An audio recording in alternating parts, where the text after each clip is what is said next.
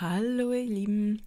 Ihr seht schon, ich rühre das Epoxidharz an und möchte dieses Mal eine Herbstdeko machen. Das ist jetzt ein Projekt von mehreren Tagen gewesen, weil natürlich wie immer das Epoxidharz braucht Geduld, nämlich beim Aushärten.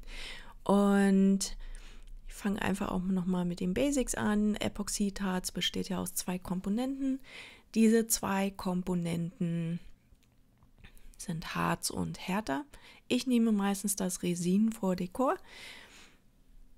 Da gibt es aber noch ganz viele andere Hersteller. Es gibt unterschiedliche Visu wie Viskositäten und da muss man einfach schauen und sich so ein bisschen ausprobieren, womit man ganz gut arbeiten kann. Auch so ein bisschen austesten, welche Effekte möchte man gerne erreichen und dadurch funktioniert das eine mehr, mal weniger und, und ganz unterschiedlich. Und dann habt ihr eben schon gesehen, ich habe Pigmentpulver genommen und dann gibt es ja auch noch Pigmentpasten, die stehen dort auch auf dem Tisch. Alkohol, Inkfarben, dann gibt es flüssige Inks oder generell Farben, ja. Und äh, ja, dementsprechend gibt es da ganz viele Möglichkeiten, sich da einfach so ein bisschen auszutoben. Und ich verspreche euch, würdet ihr mit anfangen, dann würde es mit der Zeit immer, immer mehr werden. Wichtig sind natürlich die Handschuhe und auch eine Maske. Da immer bitte drauf achten und wirklich auch genau kundig machen, wie lange härtet so ein Harz aus, wie lange muss man rühren gerade beim Rühren, ich achte immer sehr drauf, dass äh, es wird ja, wenn man es einfüllt, ist es noch gut transparent. Wenn man anfängt zu rühren, wird es so leicht milchig und wenn wirklich alles richtig, richtig schön ist, dann ist es auch wieder transparent. Sehr durchsichtig, äh, es sind keine Schlieren zu sehen und dadurch da immer drauf achten, weil alles, was nicht richtig ordentlich vermischt ist miteinander, das funktioniert auch nicht beim Aushärten. Ich setze mir meistens so um die fünf Minuten, je nachdem von der Menge her, was ich anrühre. Und dann funktioniert das meistens immer ganz gut. Bisher, es gab, glaube ich, in meiner kompletten Epoxidharzphase bisher, glaube ich, nur ein oder zwei Sachen, die nicht so wirklich gut ausgehärtet sind. Da habe ich irgendwie anscheinend geschlafen. Und aber ansonsten funktioniert es ganz gut. Ich habe jetzt mit meinem Projekt habe ich angefangen mit einem Kerzenhalter oder Teelichthalter. Ich mag Teelichter lieber, das ist immer so ein bisschen Geschmackssache. Ich mag aber keine Stabherzen zum Beispiel. Stabkerzen, nicht Herzen, ähm, weil ich einfach da so ein bisschen Respekt habe, ob mir die vielleicht umfallen, weil die nicht ganz so stabil oft stehen und das möchte ich natürlich nicht. Und hier habe ich mich dann für so ein herbstliches Rot, also gerade was so Richtung Kürbis eben auch geht, das ist auch die Form, die es betrifft und für mich einfach eine wunderschöne Form, muss ich mal sagen. Also ich hätte es nicht mit gerechnet. Ich habe wirklich gedacht, okay, mal sehen, ob das so funktioniert. Und aber es hat gut funktioniert. Als nächstes habe ich mir ein paar Kleinteile genommen. Also ich finde die Form übrigens mega. Also sowohl die Kerzenlichtform äh, als auch die Form, die jetzt da liegt, nämlich die blaue. Da sind so Blätterformen und ich mag die Form wirklich sehr, sehr gerne, weil die einfach erstmal gut ist von der Qualität her und sich auch wirklich sehr, sehr gut gegossen hat. Und da kann man sich ja total austoben bei den Farben gerade. Entweder unterschiedliche Farben nehmen, einfarbig arbeiten oder das Ganze eben mit transparent nochmal aufgießen, was ich jetzt eben auch bei der Kerzenlichtformen genommen habe, dass ich da einfach nochmal transparent drauf gegossen habe. Dann hatte ich den Becher nochmal ausgegossen. Dadurch kommen einfach ganz unterschiedliche Möglichkeiten oder auch Reaktionen von dem Harz. Das ist die Zauberei eigentlich beim Epoxidharz. Ich mag es sehr, dass man eigentlich oft gar nicht weiß, was da jetzt am besten dann bei rauskommt, wenn man unterschiedliche Farben nimmt. Deswegen, ich habe es jetzt auch bei den kleinen Teilen, habe ich jetzt was Grünliches und dann auch wieder so ein Rot-Orange. ganz gerne genommen und wie gesagt, ich liebe es einfach. Ich mag diese Formen, ich mag die Farben, die dabei rausgekommen sind. Ich liebe ja den Herbst sehr.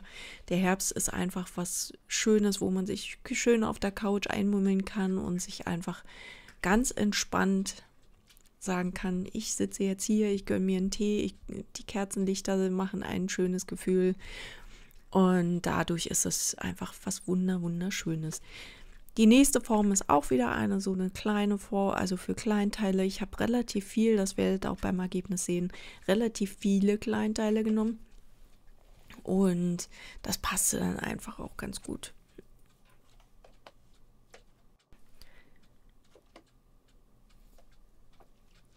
Das Video ist ja auch heute ein bisschen länger als sonst. Äh, ich habe es tatsächlich mit Absicht so ein bisschen länger gelassen. Ganz viel ist halt auch beschleunigt, aber trotzdem eben halt ganz gut ähm, noch sichtbar, was eben für Möglichkeiten gibt. Und einfach weil ich, erstens habe ich diese Herbstdeko verschenkt. Und äh, diejenigen haben das natürlich selbstverständlich schon bekommen. Und ich mag die halt unglaublich gerne, sowohl die Beschenken als auch die Herbstdeko selber. Und habe eben gedacht, okay, dann nehmen wir halt das Ganze noch ein bisschen länger auf und ich glaube, das funktioniert ganz gut. Und ihr seht schon übrigens im Hintergrund, ich sitze noch im Sommerkleid zu der Zeit. Äh, jetzt ist es mittlerweile ja schon der Herbst so ein bisschen angekommen. Also ich gucke mal, ob ich, ich muss noch schauen, ob ich irgendwie euch alle Formen verlinkt bekomme, damit ihr da im Zweifel euch die noch ganz schnell holen könnt. Ich hatte noch eine kleine Form mit kleinen Pilzen, aber die war für mich ich kann es nicht mal beschreiben. Ich fand es irgendwie sehr kleinteilig. Man hätte die nochmal zusammenfügen müssen. Ich fand die nicht so schön geworden und dadurch habe ich die dann jetzt einfach auch bei der Deko selber weggelassen, weil das einfach für mich nicht wirklich passte. Ich habe zum Teil eben auch unterschiedlich. Mal habe ich die Farbe schon mit reingemalt in die ganze Form, was ich manchmal wirklich sehr, sehr schön finde. Ich habe es ja gerade bei diesen kleinen, es gibt ja diese Luftblasen, diese Form, wo ich Untersetzer draus gemacht habe. Und hier seht ihr, ähm, und da habe ich es ja auch immer schon reingemalt gehabt und irgendwie fand ich das eigentlich ganz gut. Wie gesagt, die Pilzform, die dort jetzt liegt links, äh, die ist für mich leider nicht so wirklich optimal jetzt. Ich glaube, für andere ist das bestimmt okay, aber ich fand dann, ich hatte dann noch einen größeren Pilz gegossen und der war für mich optimal. Ich hatte jetzt überlegt, ob ich noch einen zweiten mache, aber den habe ich dann weggelassen und habe dann für mich einfach entschieden, genau so ist es richtig und nicht anders.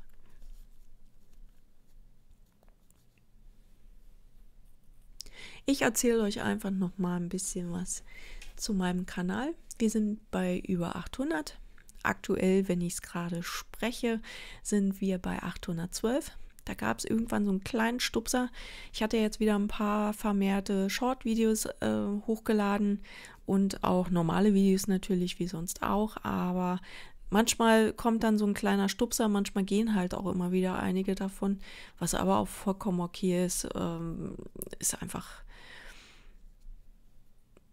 generell so in der Gesellschaft heutzutage. Und ich freue mich eigentlich über jeden, der da jetzt irgendwie meinem Kanal folgt, egal in welche Richtung.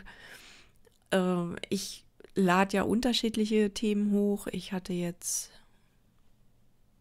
angefangen gehabt ja mit Musik. Das war ich 2017, da habe ich meine ersten Videos hochgeladen. Da war ich bei Bands und die habe ich gefilmt und die habe ich dann eben die Auftritte hochgeladen.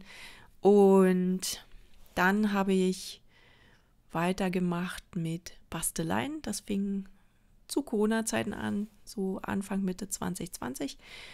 Da mein erstes Bastelvideo müsste, glaube ich, das Seifegießen gewesen sein. Und äh, das fand ich irgendwie sehr, sehr spannend. Und ich fand es auch sehr schön, wenn ich das gefilmt habe und eben auch gezeigt habe, das kann man basteln. So sieht's aus. Oder hey, das ist ein Set. Das funktioniert ganz gut, weil ich bin ja, ich bin grob motorisch veranlagt, das gehört einfach mit dazu irgendwie bei mir. Ich bin da nicht so talentiert, dass ich jetzt bei mir die Sachen immer extrem alle gut aussehen. Aber ich mag die Sachen oft, die ich mache. Und das zeige ich natürlich auch. Und deswegen sage ich auch manchmal mit so einem zwinkernden Auge, wenn ich das kann, können die anderen das auch. Und das ist für mich dann einfach vollkommen passt das. Und ja. Und ja, jetzt hatte ich Short-Videos auch hochgeladen, wo ich halt im Urlaub war, ob es das Meer war oder andere Sachen.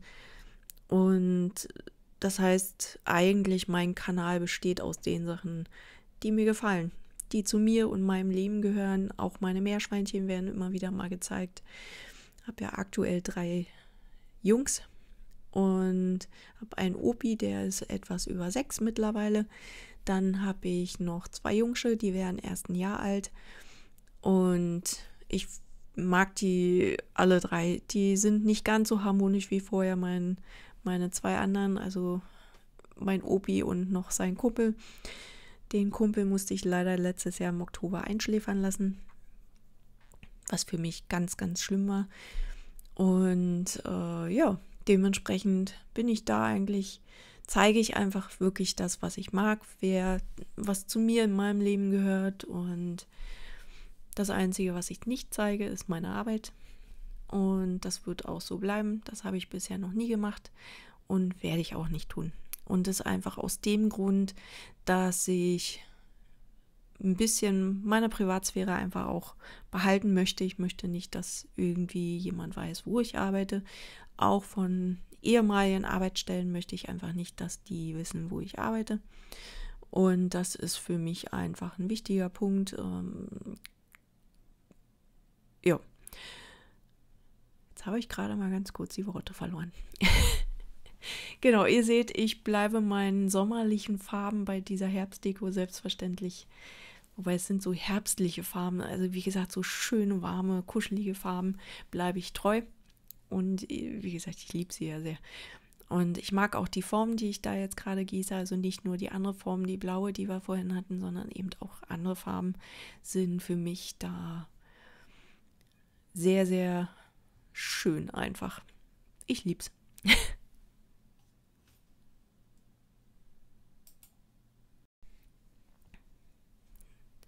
so, gleich zeige ich euch schon mal, wie ein Teil davon aus der Form geholt wird. Und einfach weil das irgendwie, ich glaube, ich kriege das immer nie hin. Es gibt ja viele, die beim Auspacken irgendwo so diese Geräusche da machen. Das kriege ich nicht hin und ich weiß, dass es mittlerweile ganz viele auch richtig doof finden. Ich finde das teilweise auch nicht so schön, wenn irgendwie jemand auf Instagram oder so irgendwelche Pakete auspackt und ständig mit diesen Fingernägeln da drauf rumkloppt. Sorry, es nervt. Und das einfach, weil es einfach so ein, wo ich einfach denke, ey, pack doch einfach aus, mach doch einfach. Ich bin einfach jemand, der da einfach macht und nicht noch ewig drumherum labert und Deswegen sind meine Videos meistens auch relativ kurz. Ich will nicht, dass ihr da irgendwo denkt, boah, ist das langweilig. Ich habe wenige längere Videos, die irgendwie länger als 20 Minuten gehen. Diesmal sind sie jetzt ein bisschen länger, das Video jetzt, aber wie gesagt, das mache ich oft, wenn ich das als Geschenk habe und den Beschenkten dann gerne zeigen will, wie ich es gemacht habe. Und dadurch ist es für mich eine schöne Möglichkeit. Ja, wie gesagt, ich war jetzt gerade im Urlaub, hatte mir ein paar Tage an Ostsee gegönnt. Ich liebe es einfach da. Für mich ist einfach Ostsee, Warnemünde, bin ich unglaublich gerne, weil das für mich einfach ein schöner Ort ist, wo ich mich wohlfühle. Wo, wie so ein zweites Zuhause, wenn ich jetzt könnte, würde ich genau da jetzt auch arbeiten und einfach mir die Zeit dort gönnen. Aber vielleicht ist es auch ganz gut so, dass ich dort nicht arbeite, einfach weil ich vielleicht sonst das gar nicht mehr zu schätzen weiß. Und dementsprechend ist das, glaube ich, ganz gut so. Ja, hier seht ihr, äh, wie gesagt, die Blätter. Ich mag die sehr. Die haben jetzt so unterschiedliche Färbungen und ist unglaublich schön geworden. Hier, wie gesagt, die kleinen Pilze, die sind einfach nicht meins jetzt gewesen. Da sind mir zu viele Einzelteile. Ich hätte es jetzt nicht gewusst, wie ich es am besten zusammenknöseln soll. Und es war einfach nicht passend kann man einfach nicht anders sagen. Und ist zwar schade drum, weil ich es mir echt schön vorgestellt habe, aber gut. Ich habe ja letztes Jahr, nee, vorletztes Jahr hatte ich ja eine Herbstdeko gemacht, auch mit Pilzen. und aber mit Heißkleber. Und die Art fand ich wirklich, wirklich schön. Hatte ich auch erst überlegt, ob ich die Deko dann so mache, aber habe mich dann dagegen entschieden, weil ich glaube, die andere Deko ist einfach mal was anderes jetzt. Und dadurch passt das ganz gut und finde ich auch für mich genau passend, genau so das Ganze zu machen.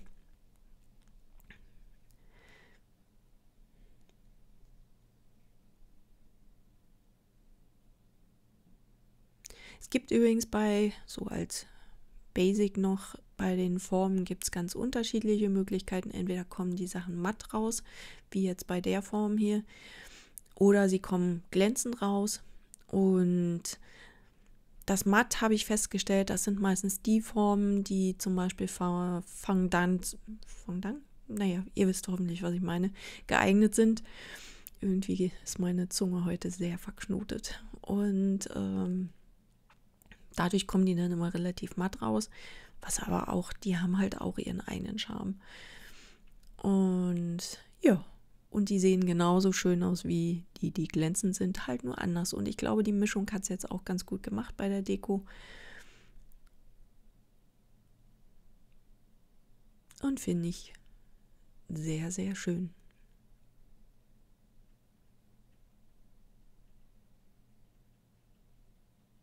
Falls übrigens jemand irgendwie zum Beispiel ein Set sieht, ein DIY-Set, was ich mal ausprobieren soll, ob das wirklich so funktioniert oder so, sagt mir gerne Bescheid. Ich kümmere mich dann drum und schaue dann, dass ich das Ganze dann mal ausprobiere. Ich finde das total spannend, dann immer so eine Sets einfach mal auszuprobieren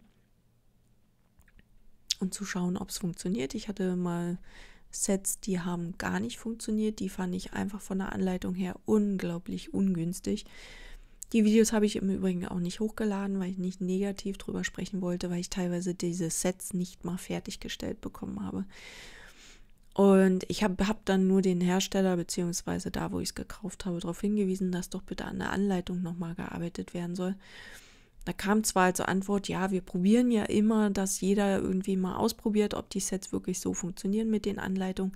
Aber wer den ganzen Tag, glaube ich, damit arbeitet, der hat überhaupt nicht mehr den Blick dafür, das Ganze richtig zu machen. Das ist wie, wenn ich hier meine Arbeit mache, ich bin ja Lohnbuchhalter, dann setze ich Dinge voraus, die andere überhaupt nicht wissen können. Und das ist natürlich dann einfach unglaublich schade.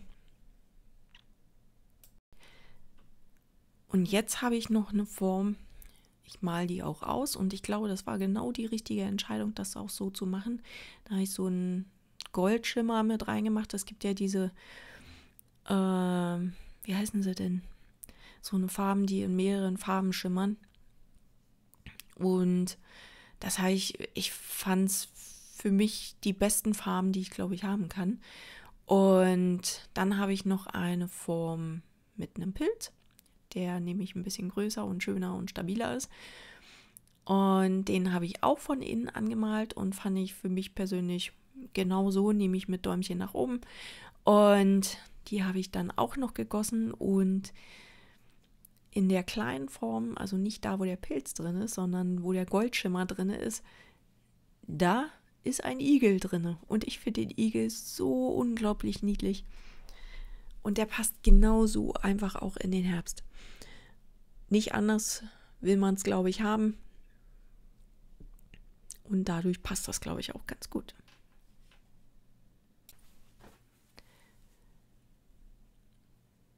Glaube, euch wird das Ergebnis genauso gefallen wie mir.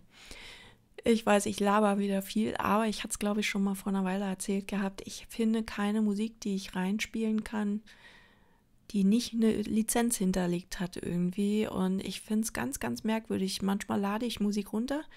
Da wird dann äh, angegeben, ist lizenzfrei und kann genutzt werden.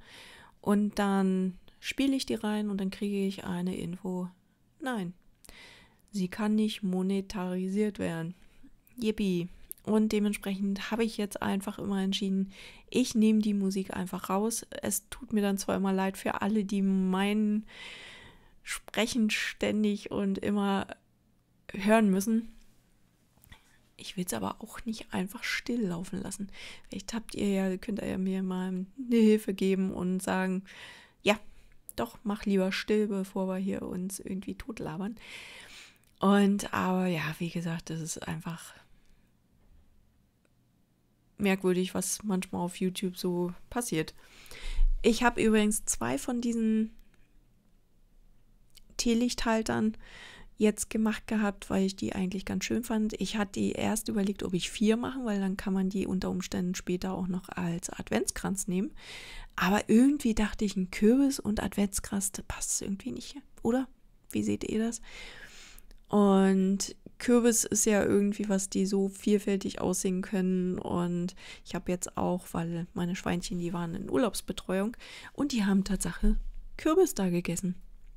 Finde ich total deprimierend, egal was ich denen manchmal hinsetze. Die wollen es nicht. Jetzt habe ich, ich nutze die Chance einfach, sie sind wieder da. Und jetzt nutze ich die Chance, dass ich Kürbis, Pastinaken, Zucchini, rote Beete habe ich heute nicht bekommen beim Laden, aber ich probiere es einfach nochmal aus. Ich hoffe, das funktioniert diesmal. Und ja.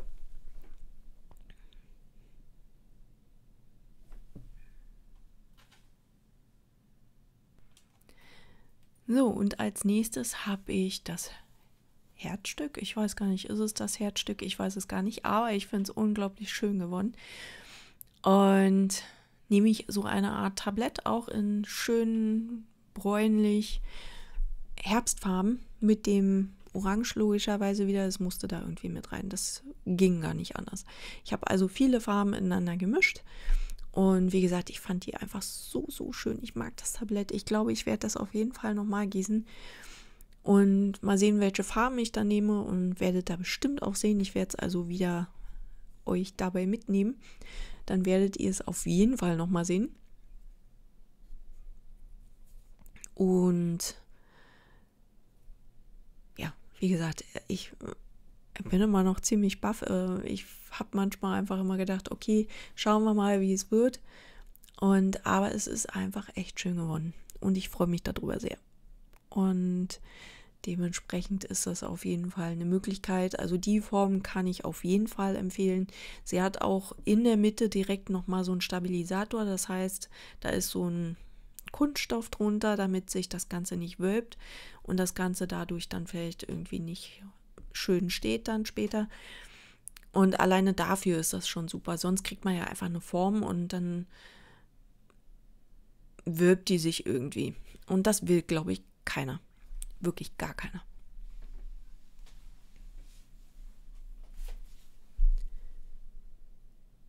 Falls übrigens einer Fragen hat, was ich vielleicht zum Beispiel mal ausprobieren soll oder direkt zum Gießen Fragen hat. Ich habe äh, letztens auch, ich kriege immer wieder mal, gerade bei den Blumentrocknen, immer wieder mal eine Frage.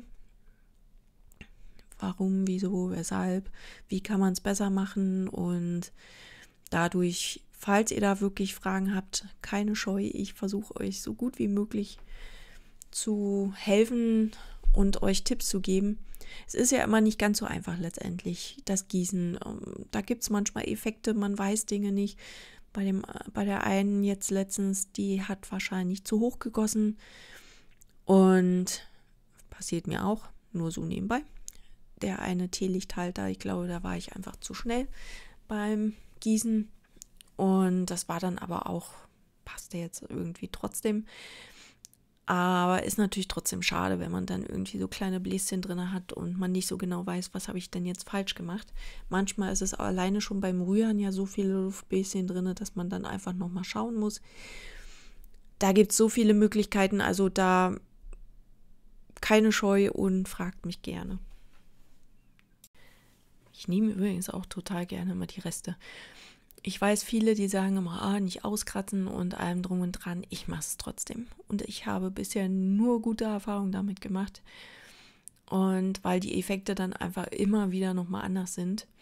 Und wie gesagt, hier so diesen Bronze-Braunton, ich liebe ihn einfach sehr. Und da sind ja mittlerweile so viele Farben in dieser, auf diesem Tablett letztendlich. Und ich mag diesen Effekt, der dann einfach passiert. Und da keine Scheu, einfach mal ausprobieren. Gerade wer wirklich erstmal anfängt, der probiert gerade einfach mal nur aus.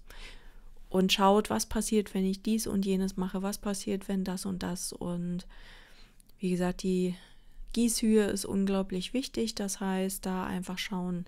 Meistens ist so eine Gießhöhe von zwei Zentimetern noch gut im Rahmen. Aber alles, was höher ist, ist einfach blöd.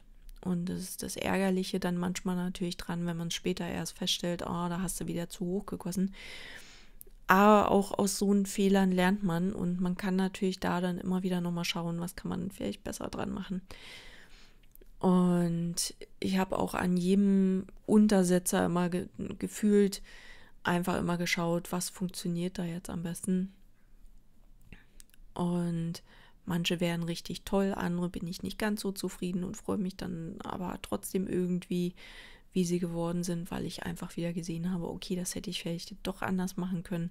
Das Einzige, was ich bisher nicht hinbekommen habe, die, ähm, wie heißt sie denn, Sandra Rettich, der folge ich auch auf YouTube, äh, die macht immer so schöne Blüten, so eine Blumen, die, die sie da irgendwie aus Epoxidharz macht. Ich kriege es einfach nicht hin. Sie nimmt auch ein anderes Harz, das ist richtig, aber es muss doch irgendwie zu schaffen sein. Und ja, aber gut, das sollte mir noch nicht vergönnt sein, aber vielleicht brauche ich einfach noch eine Weile. Und ich habe einfach andere Stärken, das Ganze dann so zu machen. Und ja, auch hier sind es übrigens wieder die kleinen Förmchen, die ich damit, gerade auch mit Resten oder so, dann wirklich gieße und freue mich da einfach dann, dass ich halt viel kleine Formen habe, um da einfach so ein bisschen Vielfältigkeit reinzubringen. Ich zeige euch logischerweise nachher noch das Ergebnis. Ich habe extra Fotos auch von gemacht. Und wie gesagt, ich mag das Ergebnis sehr. Ich hoffe, euch gefällt es auch. Und dann wird das, glaube ich, auch ein ganz, ganz schöner, schönes Beispiel dafür, wie man es gut irgendwie sich was zu Hause hinstellen kann und dafür nutzen kann, das Ganze mit dem Epoxidharz.